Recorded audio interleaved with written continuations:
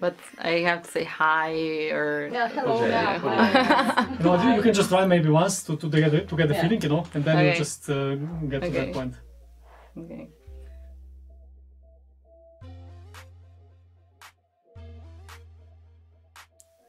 Hi, I'm Alejandra. I'm 29 years old. I'm from Mexico. I'm studying my PhD in mathematics. I like to do CrossFit and I'm also an vegan activist. I'm vegan since two years ago.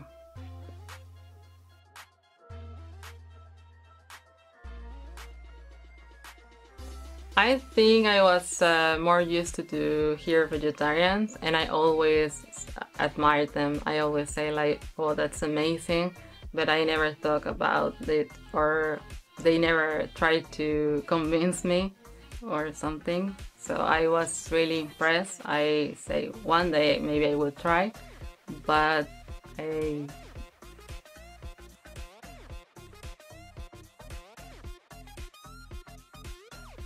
So I was uh, starting going to the gym and I didn't like the way that I had to eat, like a lot of eggs and meat. So my sister sent me a link of vegan protein shakes and I was like, what is this? And when I looked it and I saw that there was not eggs and milk and it was it looks delicious. I wanted to learn more and then one video um, showed me more videos and then I go to the Gary Yourofsky speech and yeah that's in one day I watched all of them.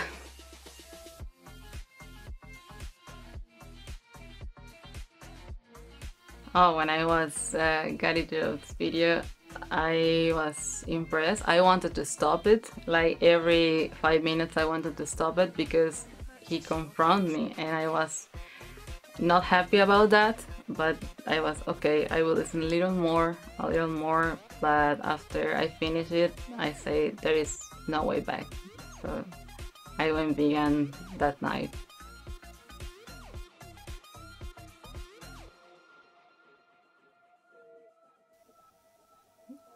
While I was uh, watching that video I was feeling angry about um, like why I didn't hear about that before. I was surprised. I was um, I was feeling that uh, I was doing things wrong because I really really care about animals and I never stop and think about it. And yeah, I was just feeling guilty, feeling that I wasn't doing things right and I knew that I had to change. Purchase your tracks today. After watch that video, I I didn't say in that moment I will be vegan. I say okay, I will try. I will see how it goes. But next day I couldn't eat the food that I had in my fridge. I couldn't even use my not vegan shampoo or my not vegan cosmetics. I just I couldn't. I I say because I say I will not throw this away. I will use it until the end. But it it was just I couldn't.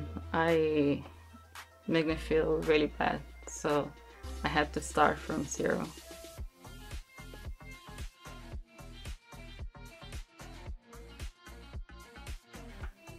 In the beginning i i started uh, with this style of life because the animals but then i start caring about what i was putting in my body. And then i realized that before i wasn't uh, doing right even for my health because i was eating all these uh, cholesterol hormones and bad things from meat dairy and eggs but now like when i changed and i start eating more fruits more vegetables more whole food like my energy where was up my skin changed like everything. I i don't see any bad side. I just see good things that i got for veganism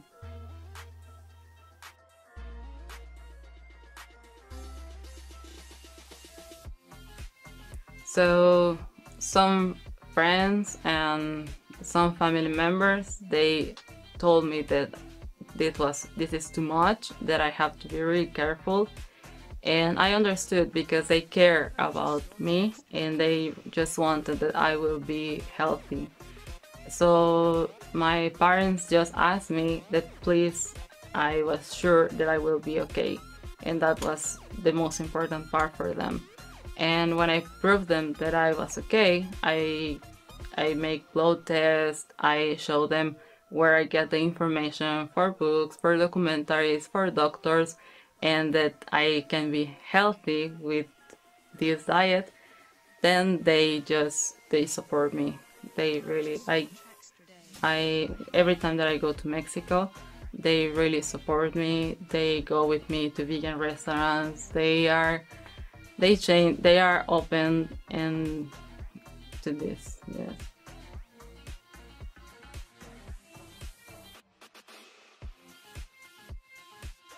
So when I when I became vegan, I knew that I wanted to do more, and I was uh, trying to be part of societies or make um, some kind of activism, but there was not too much going on here in Slovenia. And at that time, I went to Australia for three months, and I have the opportunity to go to a workshop, James Aspey workshop about activism, and he talked about how, like, why it's not enough being vegan, because being vegan it's okay, it's great, you are not part or you don't contribute to animal cruelty, but then you are neutral, and this is also this is not enough for me.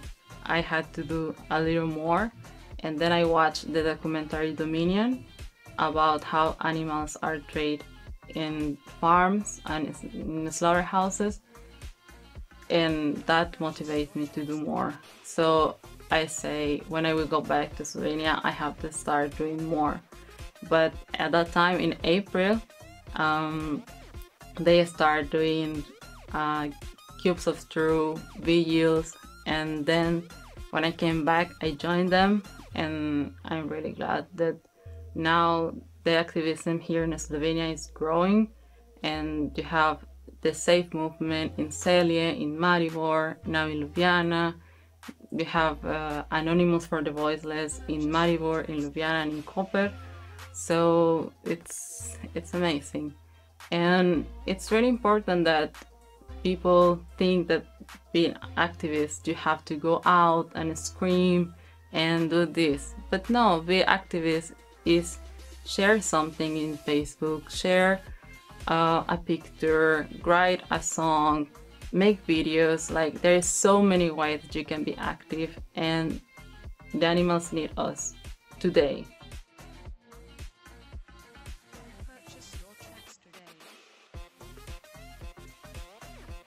It's different depends of who is eating because of course i feel bad sad frustrated for the animal that suffered but also if it's someone from my family or friend it's harder because i really i love them and i know that they are good people and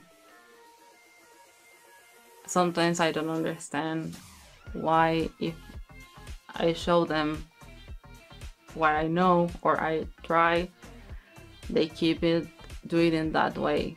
But I I like to remember that I was the same.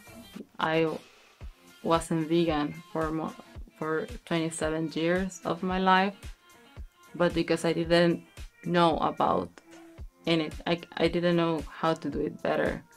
And I don't know. I I tried to share what I know and then people will make the decision.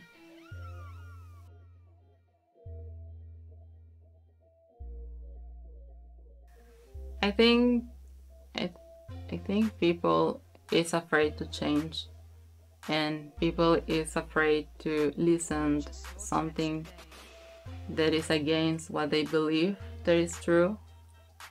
For me the hardest part to when I decided to become vegan, it was accept that I was wrong.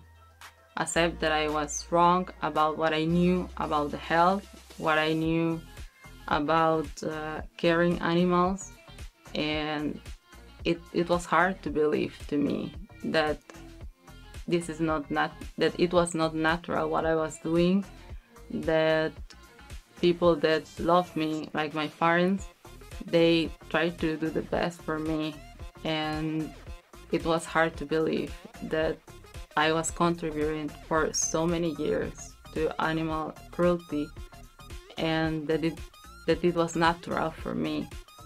And so I think people is afraid to that and to change, but to admit that they are wrong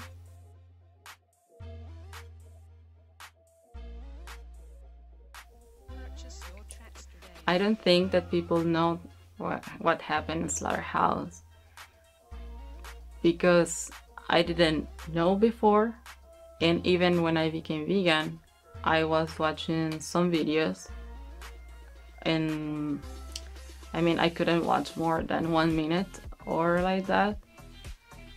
But even after one year of being vegan, I didn't knew I didn't know how to how was the Cyrus slaughterhouse. I watched um, the documentary Dominion and I learned a lot about it. And also, when you go to the vigils and you go in front of slaughterhouses, you can hear the animals. And there is not a worse feeling than being there. So I I don't think people can understand just what is going on inside of a slaughterhouse. Yeah.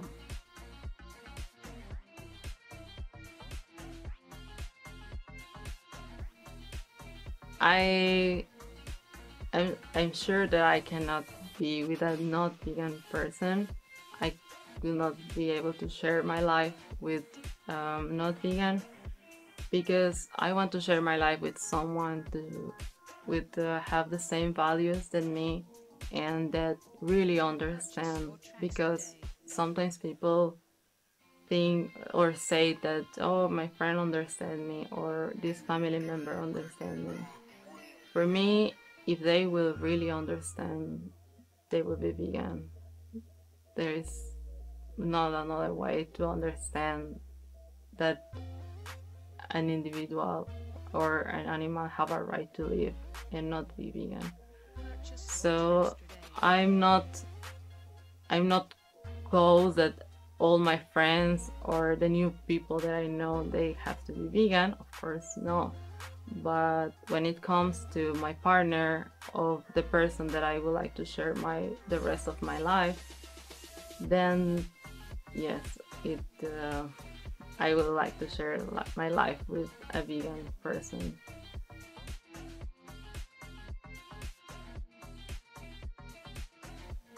Yes i want to believe that there is some compassion in all of us. It's just that we don't know the truth and yes when we will have the inform the right information then we will make uh, more compassionate choices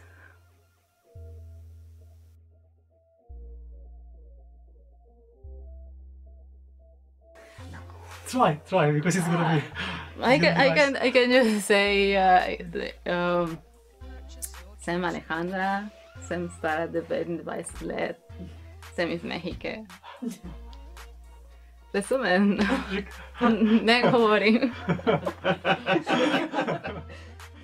Escort de vegano so super. Uh!